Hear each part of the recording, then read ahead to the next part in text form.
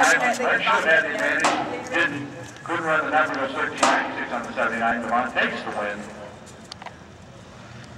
Jordan Spangler in this ninety-seven Camaro, and the team led down to will get the head start over Marty Aragati, we talk about Marty a lot. And retired Dennis.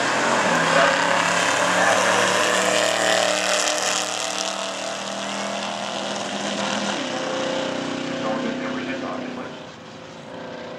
hit Marty takes the win on a double breakout, Marty goes thirteen